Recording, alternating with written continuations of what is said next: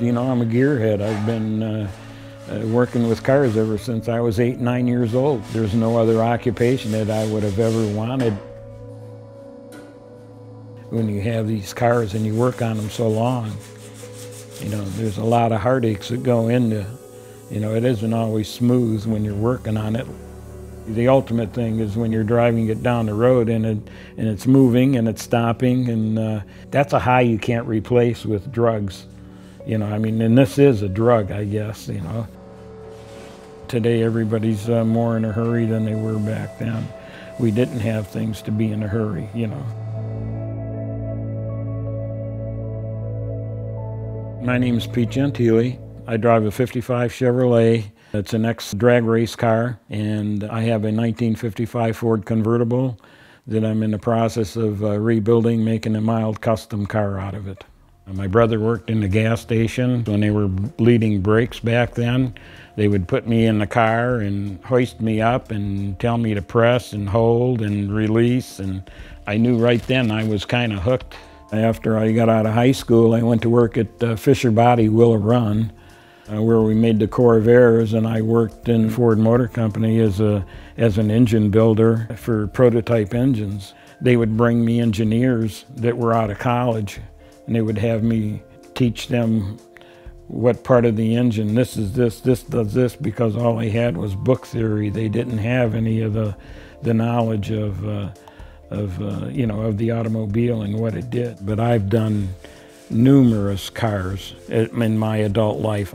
I would buy like uh, Thunderbirds, some of the fancier cars that were either burned or stripped, and I would take and take them all apart and rebuild them, you know, and sell them.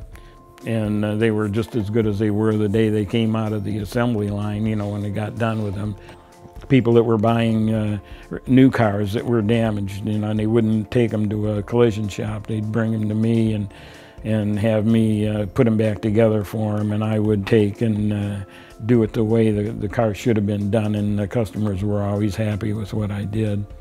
You know, I'd work my eight hours, I'd come home and uh, uh, I would eat dinner, and I usually had a project out in the garage, and I would go out there and I would work on there till around 10 o'clock or 10.30, somewhere around there, and then uh, go in and take a shower, get ready, go up the next day and go back to work. And I did that for, uh, for some time. I worked in the gas station part-time. I knew the owner.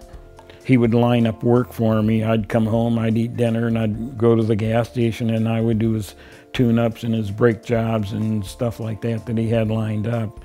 You could build a guy a real good engine and uh, he really didn't see what he was getting, but when you seen the finished product of the car, uh, that you did a, a, good job of uh, doing the body work and paint work and the car looked nice and straight, it was uh, more fulfilling for me. I got into the hot rodding thing because the hot rodding thing was more a blue collar type uh, of a hobby. People were building cars that had a personality to them. You could tell, you know, that they took a lot of time when they completed a car. It looked really nice. I bought the car from a from a friend of mine that uh, he was going to go drag racing with it. It was just a just a bare bare body with uh, with four wheels on it. And I says, well, I says if you want to sell it uh, let me know. And he says, well, just give me what I got in it. And I think at the time I gave him $400 for the car. And I took it home and then I started doing the initial work on the car to, to get it to put an engine in, to get it running. The name of the car is Injecticide. One of the young kids that worked for us, he was into uh, horse racing. And he come in one day and he says, I got the uh, the name for the car, you know. And he says, Injecticide. And I says, Injecticide, what's that? He says, well, you got the Hilborn fuel injection on it and some horse that was racing in Detroit at one of the horse tracks on the east side of town, I believe. We had the car lettered by Paul Hatton, which was a pretty famous striper letter type guy. And in fact, uh, he was doing other work for Ford Motor Company. And then uh, when they came out with the Mustang, in 1964, he did all of the hand striping on all of the Mustangs that were sold that year. So he, that's when he finally went full time into what he was doing. At the time, I had a garage and a gas station. I felt that if I had a car, you know, with the name on it, and the car was a fairly good runner, that I could make money installing, doing engine work, and things like that for other people, which proved out to be a pretty good mix that we were doing this. It was fairly competitive, and for not being sponsored like a lot of them were sponsored, that we're able to put more money in it. You know, I was feeding a wife and two kids and, and working and I ran from uh, oh, 1965 to 1972. The end of 71 was the last year I ran uh, Detroit Dragway and Milan, uh, Motor City on the other side of town, and then in Windsor, Canada. Them were the four primary tracks.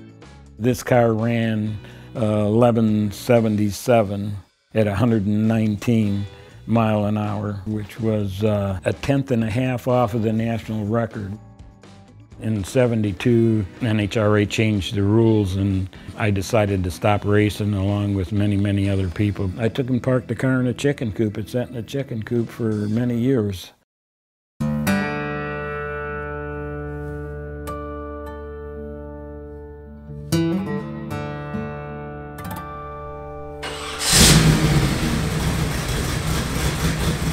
It doesn't have the Hilborn injection on it now. It has a supercharger, a GMC uh, 671, detuned to about 600 horsepower right now, but it's capable of probably 750 uh, with more carburation and more camshaft. I just cruise in the car. I don't I don't drive the car fast. I take grandkids, take them up to the Dairy Queen, take them to the cruise, take them for a ride. It drives very well on the street. Never gives me any problems. Doesn't overheat. In fact, it runs a little bit on the cool side. I had overheating problems with it originally and uh, took me a year or so to to work through them. When you're going down the road and you have people that are tooting the horns taking video of the car. You, can't replace that.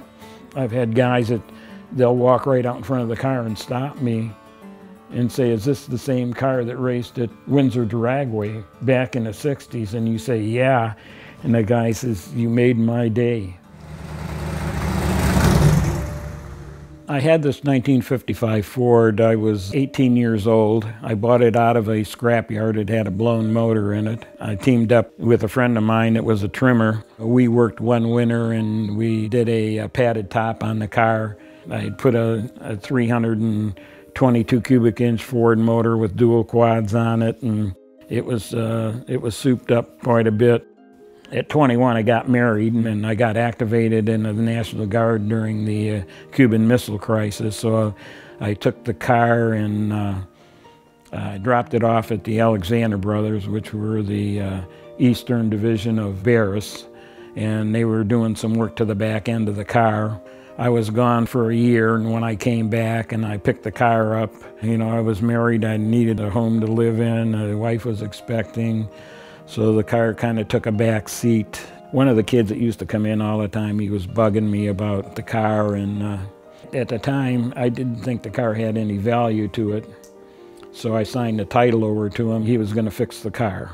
It ended up that he didn't do any of that. He left it on a side street in front of his house. I didn't know about it, and I hadn't seen the guy in a while, so I had a policeman friend come and tell me that he thinks that my car is in a uh, is in the pond. I said, well, can I see it? He says, yeah. He says, I'll take you over there. He took me over there, and it was in the middle of about 50 other cars, so it had been there quite a while. I didn't have the money to to get the car out of the pond, and I didn't have a place to put it. The car eventually was sent to the scrap yard and cubed, and that was the end of the car. After that, it was uh, always in the back of my mind that I would like to uh, to do another car and try to complete the job that I had started on it. At one point, I was I was looking, and uh, there was an article in there that was featuring Alexander Brothers cars that they uh, that they had completed. I was scrolling, and you know, I seen some of the cars, and I said, "Well, I says I don't have enough time to." Uh, to sit and go through all of them. So I went back. I was going to get out, and I said, well, I'm going to go back. And the first picture that I came to was a picture of my car sitting in front of the Alexander Brothers shop. And I said, wow, that's incredible. I says, you know, I've just been kicking myself all these years, and all of a sudden, uh, here's, here's a picture of it. So then I contacted the individual that had the uh, had posted the picture, and he says he thinks he knows where these books might be. The next day, when I opened my mail, there were pictures of the, the magazine cover and the articles from one of the magazines. And uh, I couldn't hardly believe it. And I'm saying, my stars are starting to fall in line here. I got to get busy. So I located one, and it was in uh, Owensville, Missouri. The car wasn't as good as he said it was. So we renegotiated the price and I brought the car home. And since then, I've taken the car apart. And it's worse than anybody would have thought. If they had left it setting in the water for 15 years, it probably would have been in better shape than being out of the water and the air get at the at the metal, you know, and that's what helps the uh, the rust start. The car was pretty much in the two pieces, the front half and the back half of the car. They were just hanging together. The main goal is to get that Ford in one piece so it can be lifted off of the frame and I can do the frame work and then finish the, the work on the body and, and do the paint work on it and reassemble it and then uh, work on getting the interior, getting all of the chrome re-chromed on it because it's all pitted. The car pretty much is, is going to be uh, like a new car, you know, or like a new 55 Ford convertible that will have some modifications done to it. Back then, uh, I could work eight or 10 or 12 hours on a car and maybe even more, if, you know, depending on what it was. But now with the, with the back issue that I have, uh, about four or five hours is uh, equivalent to about 12 hours of what I used to do before. I had thought it'd be about two years, two and a half years, but uh, I think it may still be another two year before I'm done with the car. No, I'm, I'm not regretting it, not at all. I just hope I live long enough to finish it.